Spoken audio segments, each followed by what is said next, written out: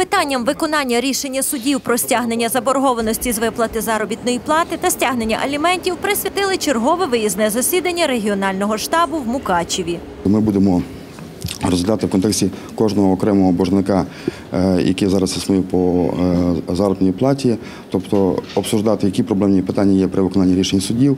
е, Розглядати можливі шляхи вирішення і позитивного виконання цих категорій цієї справи.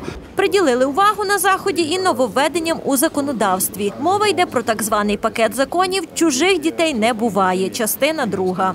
Проведення цього семінару зумовлено е, прийняттям чергового пакету змін до е, відповідних законодавчих актів, актів щодо посилення захисту прав дитини на належне е, утримання, які набувають законної сили з 28 серпня поточного року. Обговорили і інші новації у законодавстві, які стосуються встановлення представниками виконавчої служби тимчасового обмеження боржників у виїзді за межі України, у керуванні транспортним засобом, у праві користування вогнепальною зброєю та полювання. Ці заходи застосовуються по відношенню до тих боржників, у яких наявна заборгованість виплати аліментів понад 6 місяців. Тобто для цього державний виконавець вносить відповідні постанови, які в подальшому скеровують до органів Державної прикордонної служби України, до е, Національної поліції Закарпатської області, е, обласного управління е, лісового та мисливського господарства та інших. Не оминули на засіданні й тему аліментів, зокрема збільшення їх розміру, особливості стягнення та штрафні санкції за ухиляння від сплати. Введено нове поняття як мінімальний рекомендований розмір аліментів, який на сьогодні складає один прожитковий мінімум е, на дитину відповідного віку.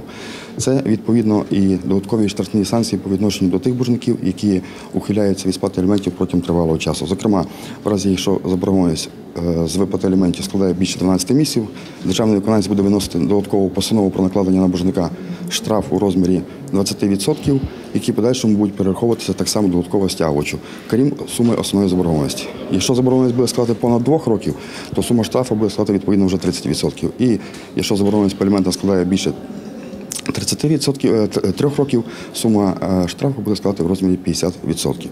Це і відповідно автоматизований арешт коштів боржника. Присутні обговорили ситуацію з найбільшими боржниками з виплати заробітної плати на Закарпатті, аби намітити вектори співпраці у напрямку відновлення прав громадян, яким боргують підприємства. Це у нас е, відповідно державне підприємство Міністерства оборони України Мукачевська розрахункова дільниця. Сума заборго- заборгованості складає 382 тисячі гривень. Це колективне підприємство Тартар. Сума заборгованості складає 291 тисяча. Це агроторгове підприємство Родозавод Мукачевський. Сума заборгованості складає 130 тисяч. Лумшовське дочне підприємство лікувального здоровчого комплексу Полонина. Сума заборгованості складає 102 тисячі. Е, агроторгове підприємство Бобовище. Сума заборгованості складає 86 тисяч 929 гривень. Фізична особа Андрела, сума заборгованості 38 тисяч гривень. І державне підприємство Великолазівський, сума заборгованості складає 6 тисяч 357 гривень. Подібні заходи стали вже регулярними на Закарпатті. Це вже п'яте засідання регіонального штабу. Тому можна вже говорити і про результати. Так, якщо на початку роботи заборгованість із зарплати була погашена на суму 131 тисяча гривень, то станом на сьогодні стягнуто з боржників уже майже мільйон гривень. Лише за останній тиждень 188 тисяч гривень повернулося від боржників до громадян завдяки роботі виконавчої служби.